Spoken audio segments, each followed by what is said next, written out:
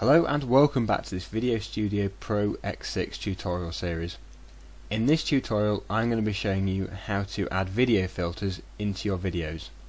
So first of all make sure you've got a video in your timeline and then you need to click on this FX button and this is for filters.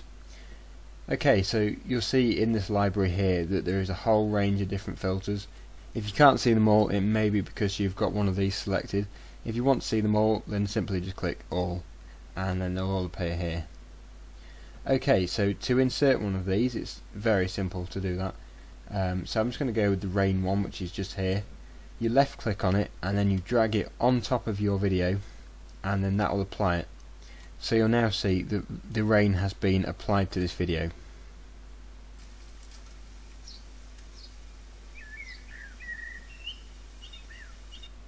Okay, so you can see that the rain is coming straight down with not really much animation to it. There is a way of editing this. All you have to do is click on your video, then click Options. Then in the Attribute section here, you'll see that the rain filter is there.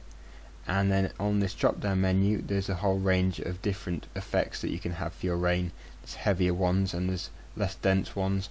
Um, or you can customize it yourself by clicking Customize Filter.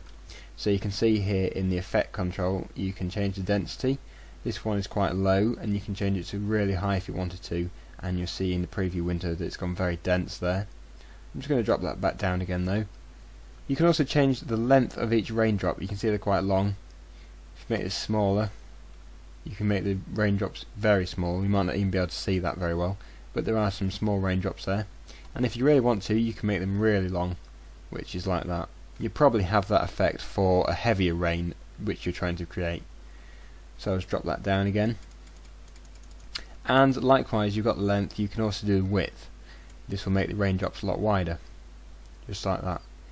And then when you click on the advanced controls, you can see that there is the speed of the rain coming down. There's also the wind direction, turbulence and vibration. So when you set the wind direction really high, you'll see that the rain is almost driving in from an angle. As you can see there. So there are plenty of things that you can do with your video filters. This is just one of them. There's loads of them, um, and you can customize nearly every single one. So there's a lot that can be done with them, and they're very useful for enhancing and improving your videos. So I recommend giving these a go and at least trying them out. And for more videos like this in the near future, please stay tuned.